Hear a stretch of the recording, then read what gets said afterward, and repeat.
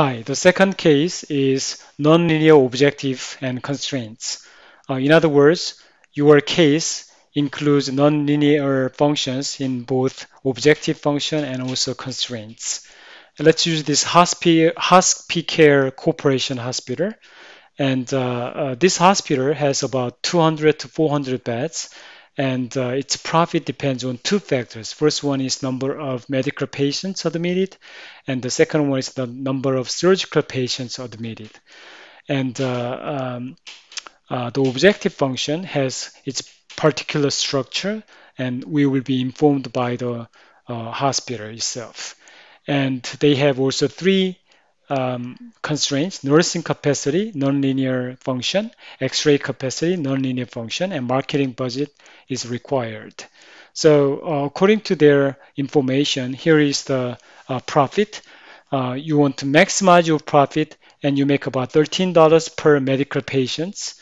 However, um, there is only uh, there's interaction between the number of medical patients admitted and the number of surgical patients admitted. So that's about the interaction is six. In other words, um, you know, the medical patients, they are coming there and then uh, many of them or some of them have to be going through the surgical patients. So, so that factor is about $6.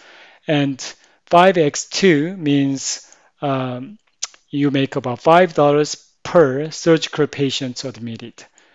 And uh, 1 over x1 means, you know, $1 is divided by number of uh, surgical patients admitted.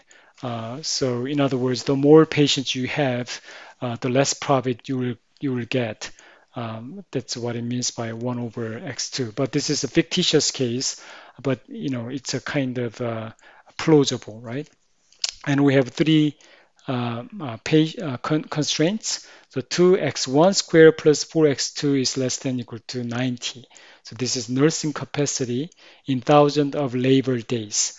So um, um, you know, you know, uh, the number of medical patients, about uh, two nursing hours are uh, required, and it's being squared for that. And for surgical patients, four uh, nurses are needed for that. So that's what it shows for the nursing capacity. And the second one is X-ray capacity.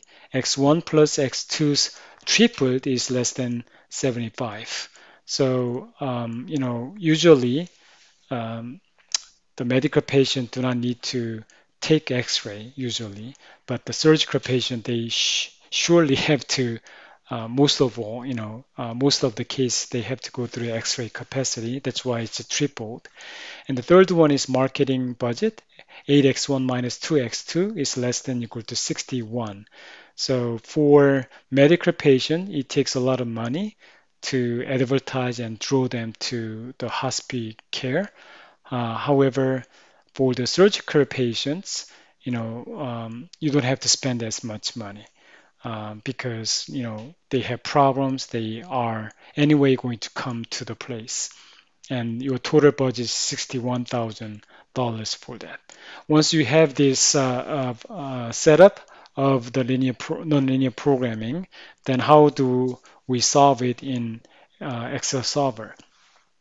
So here uh, are three-step approach again. You set up the the variables x1 and x2 first as an objective and you've decided these objective numbers first and then uh, you look at this uh, um, uh, objective function and it involves six different variables x1 x1 squared x1 times x2 x2 x2 tripled and 1 over x2 right? So it's quite complicated variables here and you have to enter the coefficient that are relevant to the objective function. And then um, you know uh, set up the uh, uh the uh, maximizing the profit. And uh, uh, that's some product function of this row and the second row. And I added these three constraints here. And one thing that I could not understand was that I did not add integer um, constraint here. Um, for some reason uh, it did not work. I think it's probably because um, uh, you know this this uh, uh, nonlinear format of the variables because of it is not working. So I had to uh, drop that uh, integer constraint and ran it and found the answer. And the answer says that um, x1 is 6.006 and x2 is 4.1 and you can add them into your objective function then you find about 248,500 uh, 248.647 is your answer for that and I will surely walk through the Excel solver with you. Thank you.